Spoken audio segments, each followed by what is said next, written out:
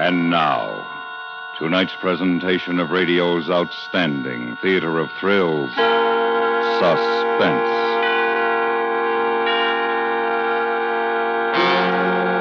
Tonight, we bring you a story of a man who found that stealing a fortune was one thing, but getting away with it was another.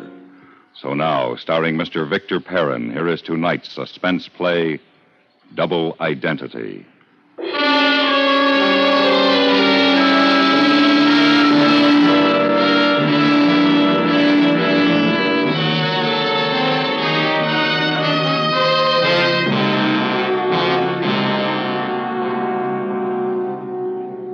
Every time I looked at that gray green thing squatting against the wall, I remembered how my father used to shout the words of the Lord's Prayer. Lead us not into temptation, he'd yell, and everyone in hearing distance would tremble. I could hear him like it was yesterday every time I looked at that safe and thought about the money inside.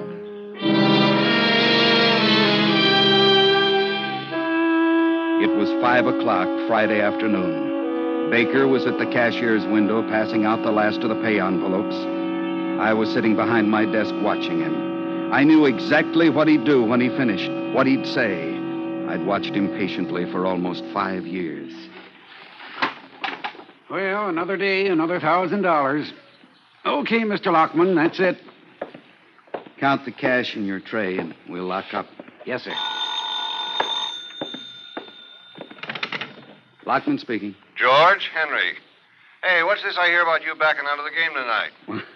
I'm afraid that's right, Henry. Well, I'm going to miss your pennies, boy. But if it can't be helped, it can't be helped.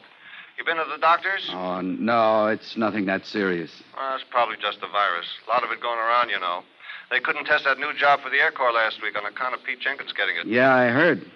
Well, you take care of yourself, boy. I will, Henry. Thanks. Two hundred and twenty-eight ninety, Mr. Lockman.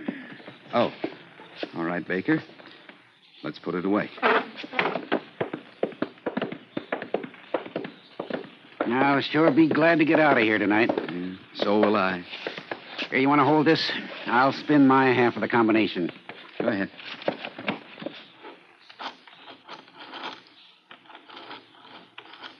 You think Mr. Kraft will ever trust either one of us with the complete combination?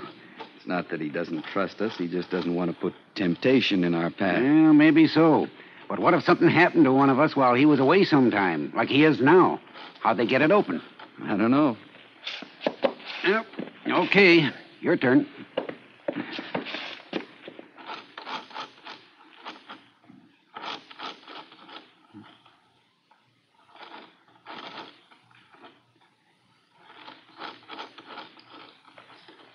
That ought to do it. This thing gets heavier every week. Door's not that heavy, Mr. Lockman. You just think it is because you're out of condition. It could be. Give me the tray. You know what you ought to do? What's that? Join a gym. Work out with weights. Sure do you a lot of good. I've been going over to Stockers myself. Put three inches on my biceps. Here, see? Nice, huh? Yeah, fine. Hey, why don't you come with me Monday night? Maybe I will. If you join there, I'll get a month free. Well, we'll talk about it, huh? All right, I'll remind you Monday morning. You do that. Hey, I better get out of here. Bertha's folks are coming over for dinner. Corned beef and cabbage? Wouldn't be Friday without it. Oh, uh, Bertha wants you to come over again real soon. I will, Baker. Good night. Good night, Mr. Lockman. Have a nice weekend. Thanks. I plan to. I knew him so well. Getting him to turn away from the safe had been easy. While he'd been admiring his biceps, I'd closed it, but I hadn't spun the dial, so it was still unlocked. I reached under my desk for the briefcase, the briefcase with the initials RG, opened that heavy door again, and began helping myself to those tight little green packets of $20 bills, 50 of them, each containing 50 20s. Ten minutes later, I was walking toward the bus stop. My heart was pounding, but I was sure I didn't appear nervous. The only outward sign of how I really felt was on the leather handle of the briefcase. It was beginning to turn dark from perspiration. Then the bus came, and I was on my way to the airport.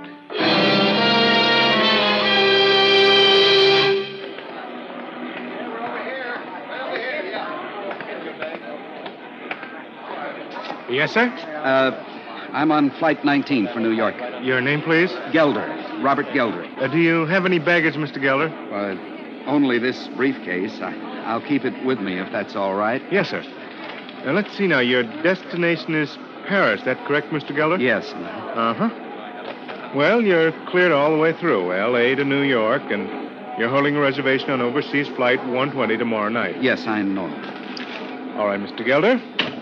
Your flight leaves from gate 7 in five minutes. He didn't have to tell me the plane left in five minutes. I knew. I'd gone over every detail of the next 36 hours again and again. First, a nonstop flight to New York, then across the Atlantic to Paris. I'd travel for a while, see Rome, Cairo, Algiers, and I'd make friends. Yes, sir, Robert Gelder would be a man of the world, a man whose every desire would be fulfilled. The money would see to that.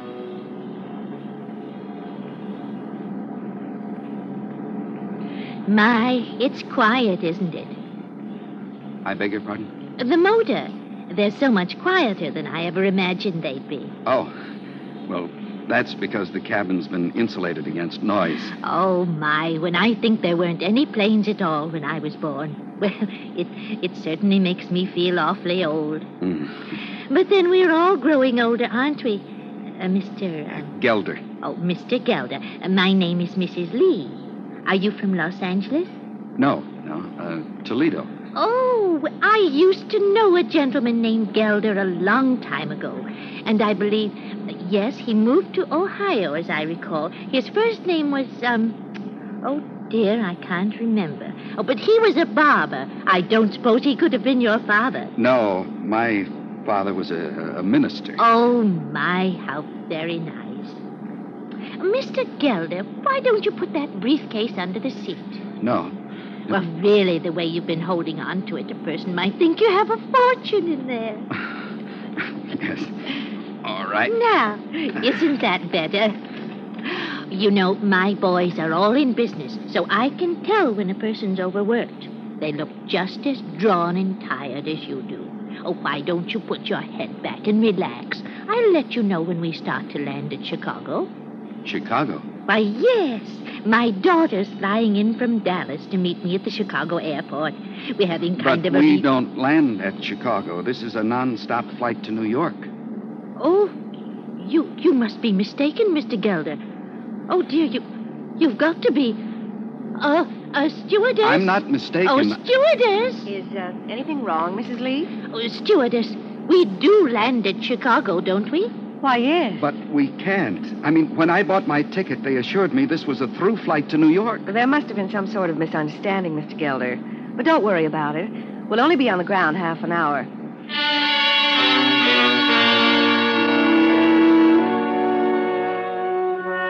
What did I get so worried about? What was half an hour? I was tensing up. The old lady had noticed the briefcase. I was being too careful, too obvious. So when we landed at Chicago, I left the briefcase on the plane and went in for a cup of coffee. Uh, hand me the sugar, would you please? Huh? Lockman! George Lockman! What? What the devil are you doing here, George? Why? Why, Mr. Kraft. What are you doing in Chicago? Well, I, I thought I'd take a little trip this weekend, Mr. A little trip. hey, you got some friends here? Oh, that's right. I forgot you're a bachelor. You got friends everywhere, huh? uh, friends with skirts. Uh, is that right? Please, Mr. Kraft. Yeah, yes, sir. It's you quiet ones. That's what they always say. Still water runs deep, right? By George, certainly is a small world, isn't it? Yes, sir, it is. Now, you just drop that sir stuff, my boy. We're not in the office now. You just forget I'm the boss, huh? Hey, uh, uh, you want a little kicker for your coffee, huh? I got it right here. No, thanks, Mr. Kraft. Huh? You, you sure? Yes, sir, I, I don't care for it, really. Oh. Uh, well, you'll uh, be back in the office Monday morning, huh? Yes, sir. Good, good. I'll give you a call. Well, have fun, Lockman. I watched him leave, and I wondered why I had to run into him, the one man who could ruin everything. Then I paid my check and walked out of the coffee shop toward the plane. When I was halfway through the gate, I saw him again. Fat, drunk J.T. Kraft was staggering up the ramp ahead of me, going into the plane, my plane, the plane in which I'd left the $50,000.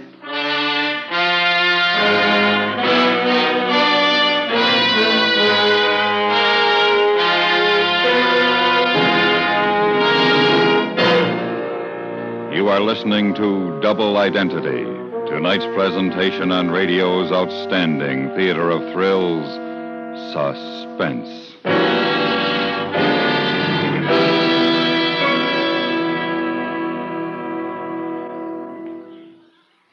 Tomorrow night on 21st Precinct, CBS Radio unfolds a tale of liquor store robberies, which, says the bureau chief, must be stopped by 100%.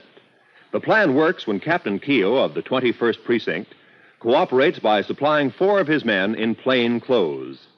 He gets gratifying results, but is topped by one of the most surprising climaxes in his career. For a real story of the men in blue in action, join us on most of these same stations tomorrow when you'll hear the tale of the bottle on 21st Precinct. And now we bring back to our Hollywood soundstage Mr. Victor Perrin, starring in tonight's production, Double Identity, a tale well calculated to keep you in suspense.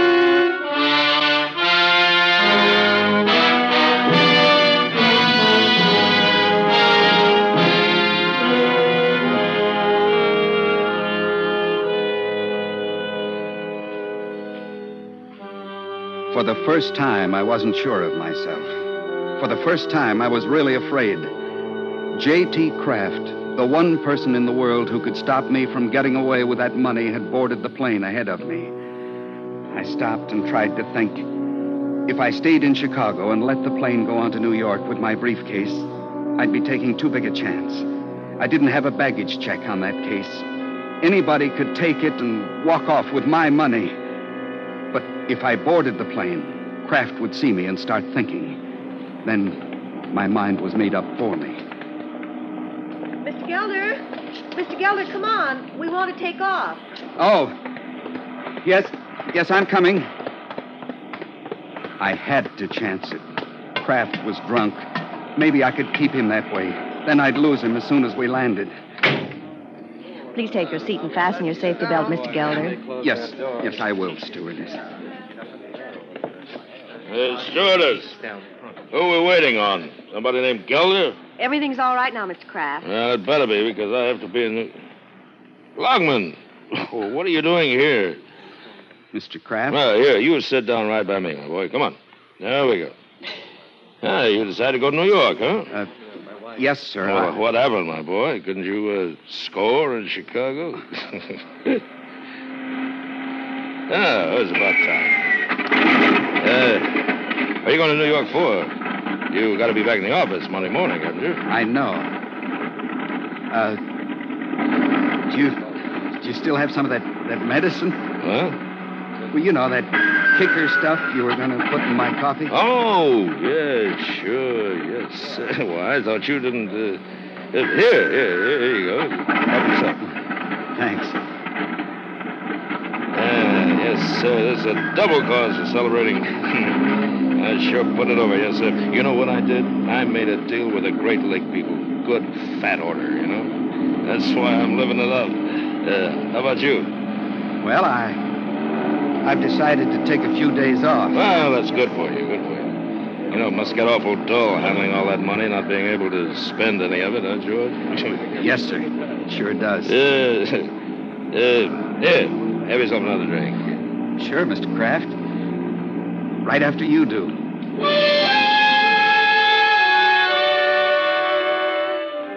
But he'd had enough, and he knew it.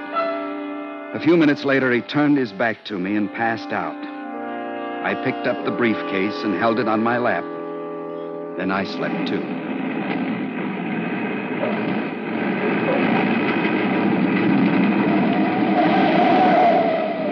Huh? What? Oh, huh? Yes, sir. New York. Uh, How do you feel, Mr. Kraft? I, all right, I guess. I had myself a night, didn't I? We both did. Yeah. Uh, Lockman, Sir? what did you say you were doing here? Well, I'm taking a few days off. Yeah. You check with McGill before you left? Yes, sir. Mr. McGill said it was perfectly all right. Yeah. Oh, good. Now, let's get our things together, shall we? It was going to work out. I was sure of it. We left the plane, walked across the apron to the gate and into the terminal. All I had to do now was shake hands with him, then duck out of sight until he stepped into a cab. As soon as he was gone, I'd confirm my reservations for Paris, then relax. Well, have a pleasant holiday, Lockman. I'll see you back at the plant, huh? Yes, sir. Uh, just a minute.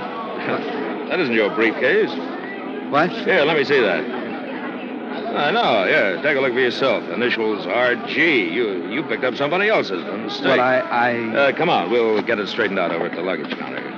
But, Mr. Kraft, this case, I mean, when I decided. To stop spluttering, Lockwood. This will only take a minute. Yes, may I help you? Well, I, I don't think. Now, so. just let me handle it, son. This man picked up the wrong briefcase by mistake. Oh, that right, sir? Yes. I.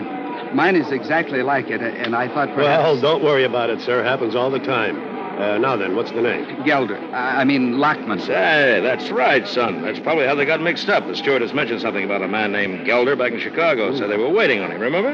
You, you remember that, too, don't you? Yes, sir, I, I do. Well, you know, I'll bet you anything that's his case. Uh, do you have any bags here for a Gelder? I wouldn't know, sir, unless there's a claim check. Yeah. No, what about Lockman? Uh, you do have a claim check, don't you, George? Uh, what do you have besides a briefcase? Well, that was all, sir. I didn't need a claim check for it. Huh? You, you only took a briefcase? Well, yes, sir. I I left in such a hurry. Ah. that- Uh, you got Mr. Lockman's briefcase back there? Uh, no, sir. There is no briefcase here. Yeah. Looks like you're out of luck till Gelder realizes his mistake and brings your case back, George. Um, look, I'll tell you what you do. You, you leave Gelder's case here, and then you come along with me into town. We'll give the clerk the name of my hotel, and when your case shows up, well, he can send it in to you. I think I'd better wait right here for it, Mr. Nonsense, my boy. We both need some breakfast and a shower. Now, you come along with me.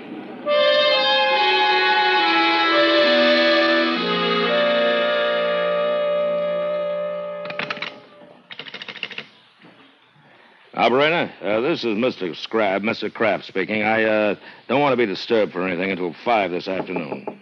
That's right, 5 o'clock. Yeah. Oh, wait a minute. Uh, get that, will you, Lockman? It's probably room service. Yes, sir. Uh, operator? Uh, yeah, that's right. I'm expecting a call from the coast at that time. That's 5 o'clock, yeah. Oh, yes, I'll be here. Thank you. Oh, now that coffee smells good. Did you take care of the boy? I put the tip on the check. Oh, good, good. It'll come off my tax that way. Um, go ahead and pour. Okay. Cream and sugar? No, no, black for me. Lockman, what are you up to? What do you mean? Look out, you're spilling the coffee. Now, you know what I mean. Your nerves have given you away, Lockman. But I, I really don't know, Mr. Kraft. I'm on vacation. You took a vacation in May. Besides, a man who's been getting out of payroll every week for the past five years isn't going to take a trip across country on a moment's notice with only a briefcase. Unless he's running away from something. Mr. Kraft, I assure you. You assure me all you want. I'm not going to believe you until I talk to McGill at five today. Until then, I'm not letting you out of my sight. But, Mr. Kraft, please, I have things to do, important things. Yes, like what? Well, uh, it's of a personal nature. Oh. A woman, huh? All right, Lockman, I'll give you a break. Still waiting for McGill to call me. I'll call him. What? And if he knows about your being here, you can leave any time you like. Put down that phone, Mr. Kraft. What? I said put it down. Now, wait a minute, Lockman. You forced me into this. I had it all worked out so carefully, then you had to come along. Now, wait a minute. Wait a minute, Lockman. Wait for what? Huh? Lockman! Lockman, please. Please! Wait for you to call the police, Kraft. Lockman! Please!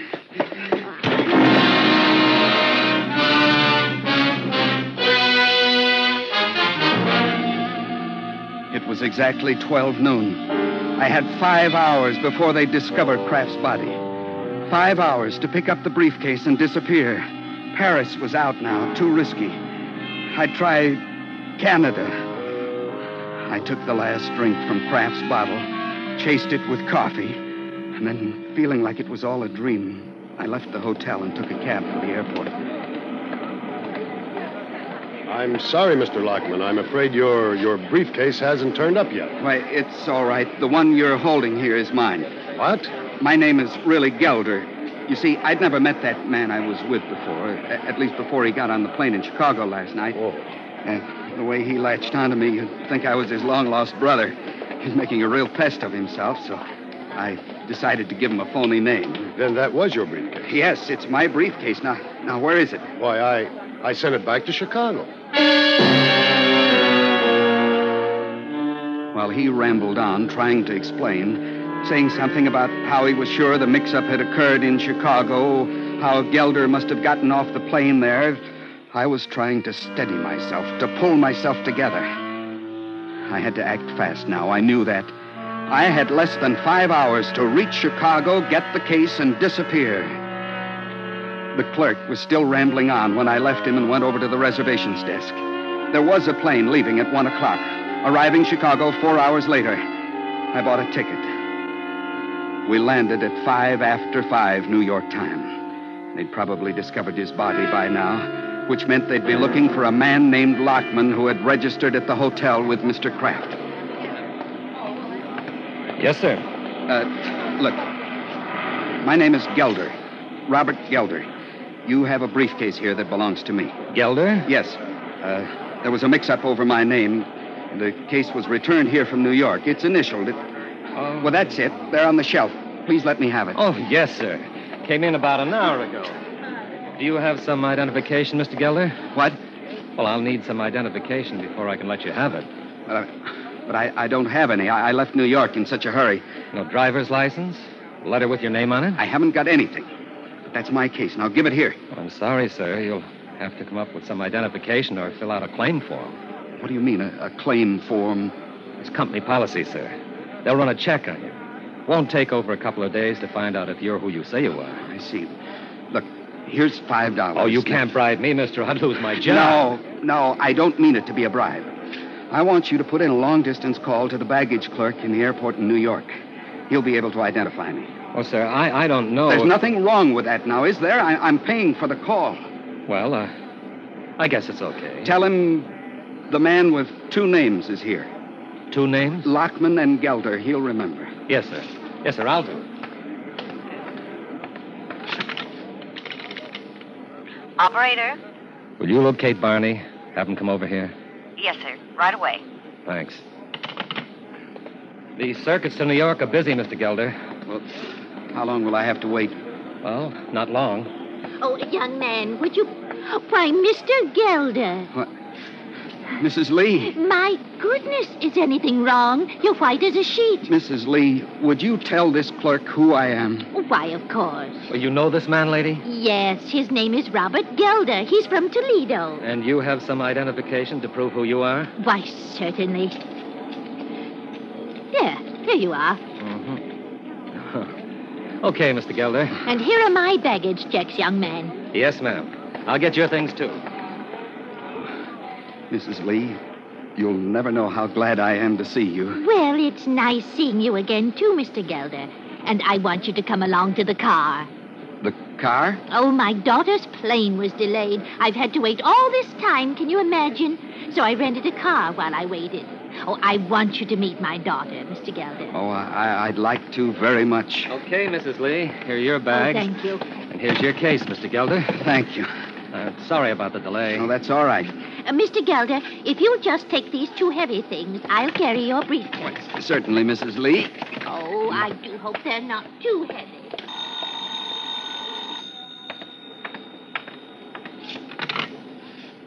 Baggage desk. Joe, you want me? Oh, yeah, Barney, I did. I thought I had a job for your cops, but it got straightened out. The guy was trying to talk me into giving him a briefcase. Didn't he have any ID? No, and two names Lockman and Gelder. Lockman? Joe, you say Lockman? Yeah, why? Teletype just came in from New York. Where is he now? Well, he's probably in the parking lot.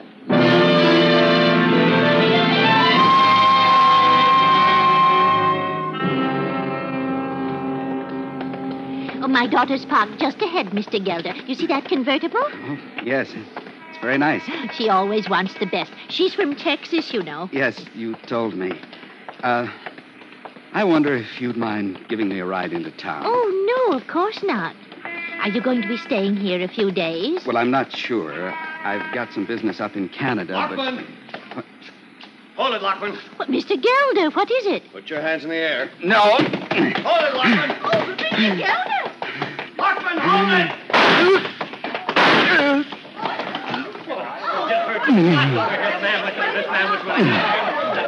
I'm sorry, Lockman. You should have stopped. Stopped? That's very funny, officer. I never even got started.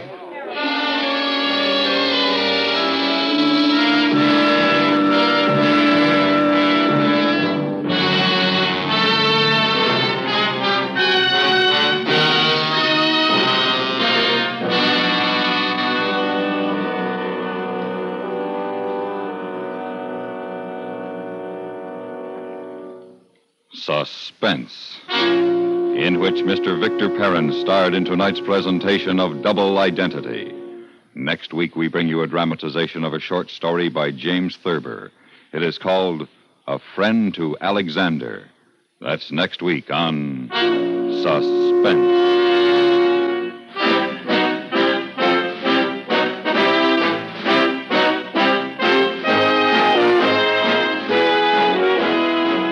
Suspense is produced and directed in Hollywood by Anthony Ellis. Tonight's script was written for Suspense by Alan Botzer. The music was composed by Rene Garriguenc and conducted by Wilbur Hatch. Featured in the cast were Paula Winslow, William Conrad, Charlotte Lawrence, Paul Dubov, Joe Duval, Don Diamond, Bill Lally, and Bill Justine. The drama, the pageantry, the humor and tension of presidential conventions will be recreated for you in a special 55 minute broadcast on CBS Radio Thursday night. You'll hear great moments from the speeches of Bryan, Roosevelt, Willkie, and Wilson. You'll hear Clare Boothe Luce speaking to the Republicans in 1948, and India Edwards lecturing the Democrats on manners at the 52 convention.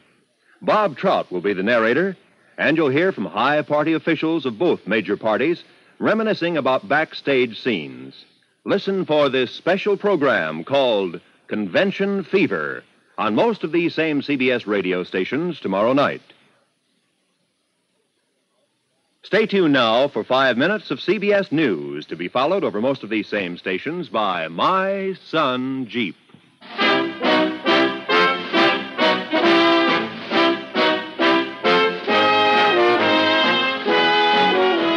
You hear America's favorite shows on the CBS Radio Network.